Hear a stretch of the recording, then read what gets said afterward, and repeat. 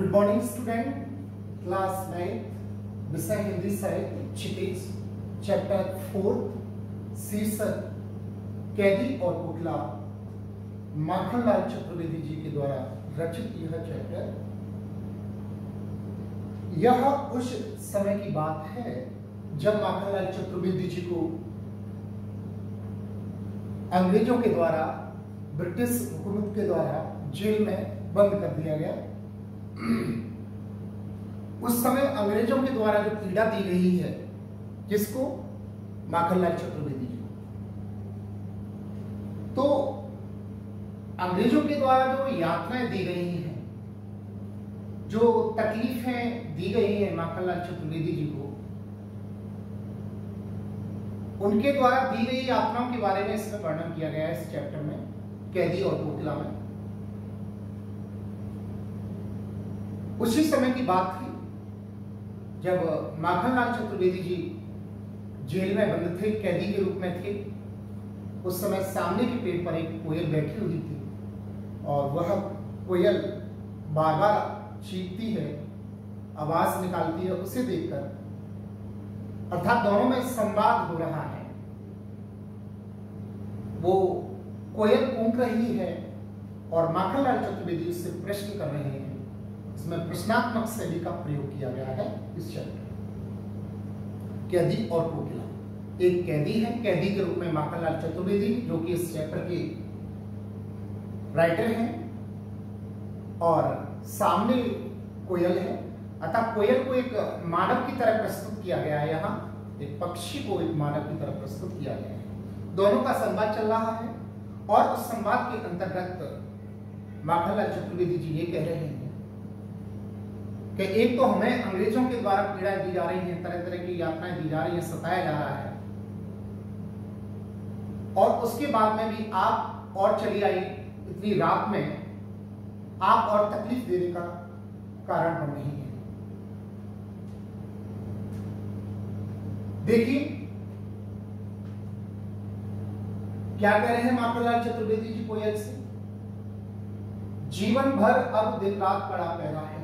जीवन भर अर्थात जीवन भर, सुबह और शाम नहीं, जीवन भर। हमारे ऊपर कड़ा पह रहा है। अच्छा अर्थात जो ब्रिटिश राज के जो अंग्रेज़ हैं, वो दिन रात हमारे ऊपर उनका कड़ा पह रहा है। शासन है या तम का प्रभाव मुझे पता नहीं है। किस प्रकार का शासन है? बिल्कुल अंधकार से भी भयंकर शासन। अंग्रेज़ों का, ब्रिटिश हुकूमत का जो है, वो अंधकार से भी बढ़कर है। अर्थात बहुत ज़्यादा ज़्यादा जिसमें कठिनाई हो, अत्यधिक यातना हो, ऐसा उनके द्वारा जो शासन है अंग्रेज़ों का, बहुत ही खतरनाक, भयंकर शासन है। पता नहीं है तम का प्रभाव गिरा वो अंधकार का भयंकर रूप है। तम का मतलब होता है अंधकार। हिमकर निराश कर चला रात भी काली हिमकर कहते हैं चंद्रमा को निराश कर, अर्थात चंद्रमा भी रात को निराश करके और चला गया रात भी काली इस समय रात भी काली है। इस समय कालिमा में जगी क्यों आली? आली का मतलब यहाँ है वेदना।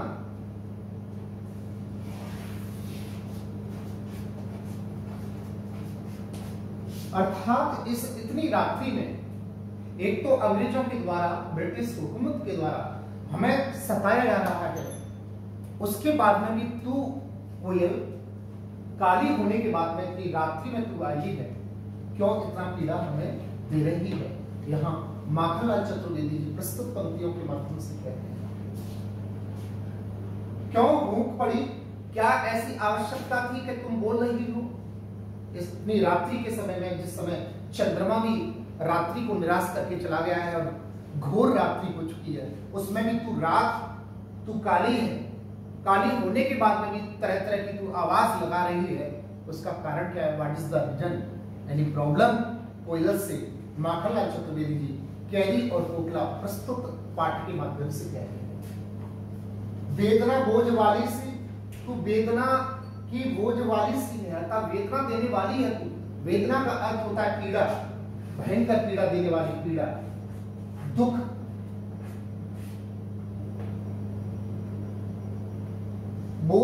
रखवाली सी कोकिल बोलो तो क्या लूटा? अरे कोयल, बताओ तो सही, किसने तुम्हारा क्या लूट लिया है? कौन सी ऐसी वैभव संपत्ति को लूट लिया है तुम्हारी?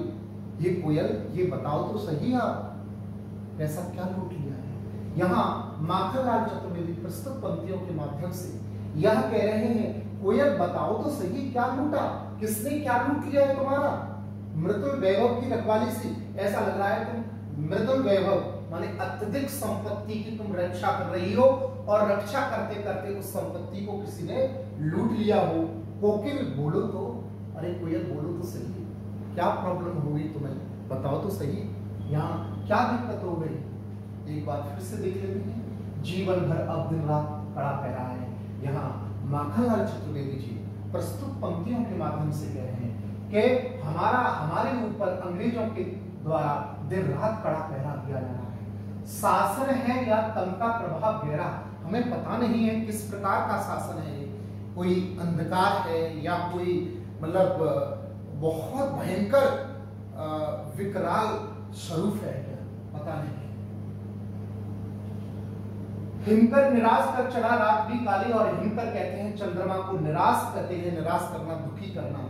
चला गया, रात भी काली। अर्थात जो चंद्रमा होता है यहाँ, हिमकर शब्द का अर्थ चंद्रमा है।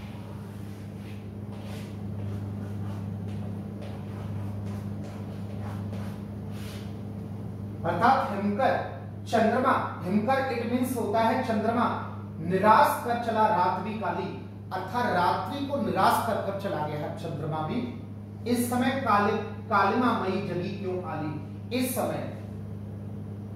इस टाइम कालिमा मई काल आपका स्वरूप काला है। जगी क्यों आली? आप कालिमा मई जगी क्यों आली? वेदना देने वाली, अर्थात आली का मतलब होता है वेदना। अर्थात वेदना देने वाली तुम इतनी रात में किस कारण से जग रही हो? क्या प्रॉब्लम है? Any problem ask me any problem any doubt तो मुझे आप कहिए मुझे पूछिए। यहाँ माखनलाल चतुर्वेदी जी जो कैदी और कोकिला नामक जो शीर्षक है, इन शीर्षक की पंक्तियों के माध्यम से कोयल से प्रश्न कर रहे हैं कि इतनी रात में आप क्यों जाग रही हो? क्या प्रॉब्लम है? आगे क्या कह रहे हैं? क्यों हुक पड़ी?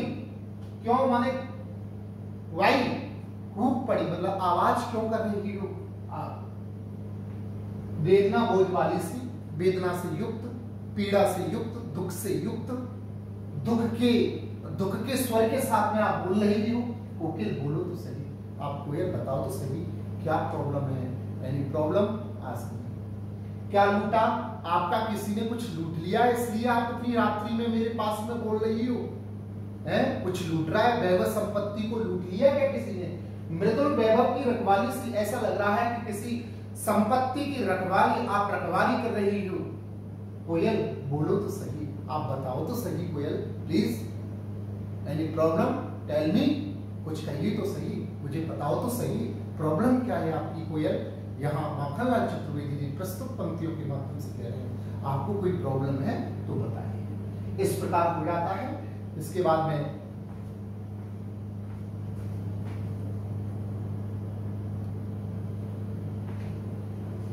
अब देखिए, आगे।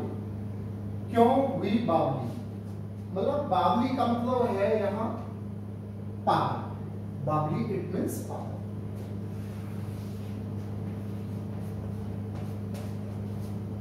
मतलब क्यों पागल सी हो रही है कोयल को नाखल लाल चतुर्वेदी जी कह रहे हैं, क्यों हुई बावली? अरे क्यों बावली सी हो गई हुआ इसके बाद में अर्धरात्रि को चीखी अर्धरात्रि इट मीन्स होता है आधी रात। ट्वेल्व ओ क्लॉक वाले टाइम को अर्धरात्रि कहते हैं। अर्धरात्रि को चीखी अर्थात इतनी रात्रि को चीखने की ज़रूरत क्या है? आवश्यकता क्या पड़ी कि आपको इतनी रात्रि को आपको चीखना पड़ा? कोयल ये कोयल, बोलो तो। कम से कम बताओ तो सही। क्या प्रॉब्लम है आपको? किस दावानल की, ज्वाला ही देखी, कोकिल बोलो तो। अर्थात, किस दावानल कहते हैं आग को और वो भी वन की आग को। जो वन जंगलों में आग लगती है, उस आग के लिए दावानल शब्द का प्रयोग करते हैं। तो यहाँ कहा जा रहा है, हे कोयल, आप बताओ दावानल का मतलब है जंगल की आग। जंगल की आग।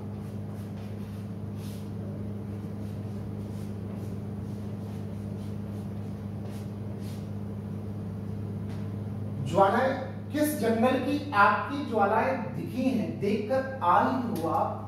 उसके कारण से आपको प्रॉब्लम हो रहा है। हे कोयल, बताओ, यहाँ माखनलाल चतुर्वेदी जी प्रस्तुत पंक्तियों के माध्यम से कोयल से संवाद कर रहे हैं, कोयल से पूछ रहे हैं, एक मानव की तरह व्यवहार कर रहे हैं। यहाँ संवादात्मक शैली का प्रयोग किया जा रहा है। क्यों हुई बाबली हे कोयल, आप पागल से क्यों हो रही हो? अर्धरात्रि को चीखे इतनी आधी रात को चीखने की आवश्यकता क्या है? रात के बारह बज रहे हैं और बारह बजे व्यक्ति को सोना चाहिए। आप यहाँ आके मेरे सामने क्यों बोल रही हो? क्यों चीख रही हो? क्या प्रॉब्लम है आपको? ऐसा माखनलाल चतुर्वेदी जी प्रस्तुत पंक्तियों के माध्यम से कह रहे हैं। कोयल, बोलो तो सही प्लीज़ स्पीक बोलो। किस दावानल की ज्वालाएँ दिखी? कोकिल, बोलो तो सही। आप किस दावानल की ज्वालाएँ देखकर, अर्थात किस जंगल की आग की आप ज्वालाएँ कहते हैं? लपटे बड़ी बड़ी आपकी मतलब आग की धारा ऐसी होती है, आग में से जो तरंगे निकलती हैं, आपकी जो लपटें होती है जिनको हम कहते हैं तो ऐसी आप कौन सी लपटों को देख कर आई हो? जिसके कारण से आप इतना चीख रही हो, इतना बोल रही हो, वो भी अर्धरात्रि के समय।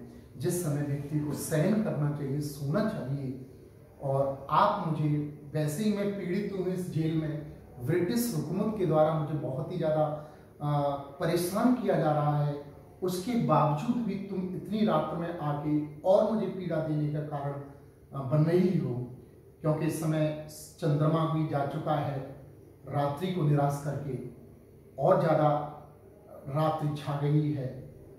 उसके बाद में इतनी रात में तू ऐसा लग रहा है कि किसी संपत्ति वगैरह की तू रक्षा कर रही हो, या किसी ने तेरी संपत्ति को मृदुल वैभव का यहाँ विकट संपत्ति को लूट लिया हो, ऐसा लग रहा है, तेरे शब्दों को सुनकर तो यहाँ इस प्रकार की संवादात्मक शैली और प्रश्नोत्तर शैली का प्रयोग किया जा रहा है नाथलाल चतुर्वेदी जी के द्वारा। तो यहाँ क्यों हुई बाबली बाबली का पागल अर्धरात्रि को छींकी कोयल बोलो तो सही।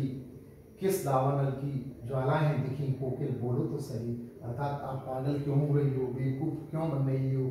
क्या तकलीफ़ है तुम्हें अर्धरात्रि को छींकी तुम इतनी रात्रि को अर्धरात्रि के समय में? जिस समय सब लोग सो जाते हैं, उसके समय में तुम इतनी चीख रही हो। कोयल बोलो तो सही, कोयल बताओ तो सही, क्या प्रॉब्लम है आपको?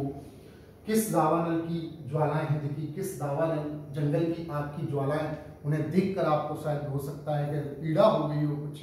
तो आप बताओ तो सही, ऐसी क्या प्रॉब्लम है आपको?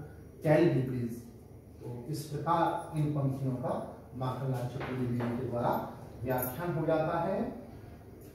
शब्द शैली की बात करें तो यहाँ माखनलाल चतुर्वेदी जी ने अन्य कवियों की बात की चाहे वो सूरदास हो चाहे तुलसीदास जी हो चाहे कबीरदास जी हो सभी लोगों की तरह यहाँ भाषा शैली का प्रयोग किया गया है। भाषा स्वाभाविक है सरल है और आ, कोई समझने में ऐसी प्रॉब्लम नहीं है। तत्सम तद्भव दोनों प्रकार के शब्दों का प्रयोग किया गया है। प्रश्नात्मक शैली का प्रयोग किया गया है। इस प्रकार साहित्यिक विशेषताएँ एक काव्य में जितनी भी होनी चाहिए, वो संपूर्ण यहाँ देखने को हमें प्राप्त होती है। Thank you have a nice day